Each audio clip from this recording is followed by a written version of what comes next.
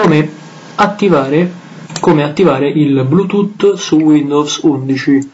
È un'operazione molto semplice, il Bluetooth vi ricordo che vi permette di scambiare file da un computer all'altro, da un telefono all'altro, da un tablet all'altro. Per attivarlo è molto semplice, ripeto. Un clic sulla icona di Windows che voi probabilmente avrete al centro, ok, io invece l'ho messa a sinistra, l'ho spostata, Verso del mouse settings o meglio impostazioni.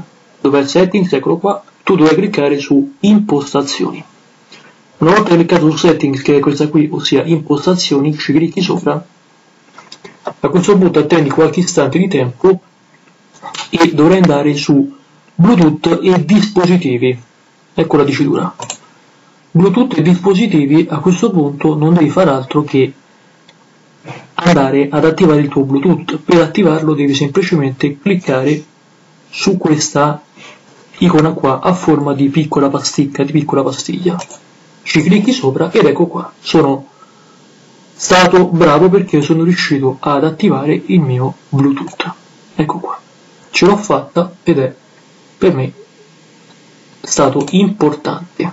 Va bene? A questo punto posso andare a scambiare tutti i file che voglio tra il computer in questione e per esempio la butto là un telefono, uno smartphone, un tablet oppure addirittura con un altro computer che è nei paraggi, quindi qui vicino. Facile, no?